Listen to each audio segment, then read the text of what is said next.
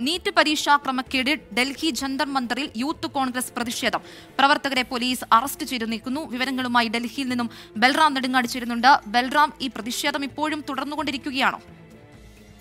ആൻമരിയ പ്രതിഷേധം ഇപ്പോൾ പൂർത്തിയായിരിക്കുന്നു. ഇന്ന് രാവിലെ പതിനൊന്ന് മണി മുതലാണ് യൂത്ത് കോൺഗ്രസിന്റെ നേതൃത്വത്തിൽ നീറ്റ് വിഷയം ഒപ്പം തന്നെ അഗ്നിപത് എന്നീ വിഷയങ്ങൾ ഉന്നയിച്ചുകൊണ്ട് യൂത്ത് കോൺഗ്രസിന്റെ നേതൃത്വത്തിൽ പ്രതിഷേധ പ്രകടനം നടന്നത്. പാർലമെന്റ് ഘരാവോ പ്രതിഷേധത്തിനാണ് യൂത്ത് കോൺഗ്രസ് ആഹ്വാനം ചെയ്തിരുന്നത്. യൂത്ത് കോൺഗ്രസ് ദേശീയ അധ്യക്ഷൻ ബി വി ശ്രീനിവാസന്റെ നേതൃത്വത്തിൽ നടന്ന പ്രതിഷേധത്തിൽ രാജ്യത്തിന്റെ പല ഭാഗങ്ങളിൽ നിന്നുള്ള യൂത്ത് കോൺഗ്രസ് പ്രവർത്തകർ പങ്കെടുത്തു.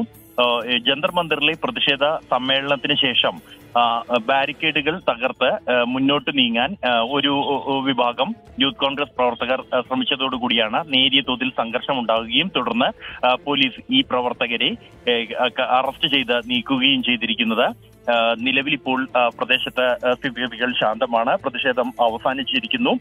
ഈ നീറ്റ് പരീക്ഷ റദ്ദാക്കുക എൻ ടി എ സംവിധാനം ഉടച്ചു വാർക്കുക അല്ലെങ്കിൽ അത് ഒഴിവാക്കുക എന്നീ ആവശ്യങ്ങൾ ഉന്നയിച്ചുകൊണ്ടാണ് ഈ യൂത്ത് കോൺഗ്രസ് ജന്തർ പ്രതിഷേധ പ്രകടനം നടത്തിയത് കേന്ദ്ര സർക്കാരിന്റെ എതിരെ കടുത്ത പ്രതിഷേധം വരും ദിവസങ്ങളിലും ഈ നീറ്റ് വിഷയത്തിൽ ഉണ്ടാകും എന്നാണ് യൂത്ത് കോൺഗ്രസ് വ്യക്തമാക്കിയിരിക്കുന്നത്. രാജ്യവ്യാപകമായി തന്നെ നീറ്റ് പരീക്ഷ സംവിധാനത്തിനെതിരെയും നിലവിലുണ്ടായ ക്രമക്കേടുകൾക്കെതിരായ പ്രതിഷേധവും വ്യാപിപ്പിക്കാനാണ് യൂത്ത് കോൺഗ്രസിന്റെ തീരുമാനം. ആൻമരിയ.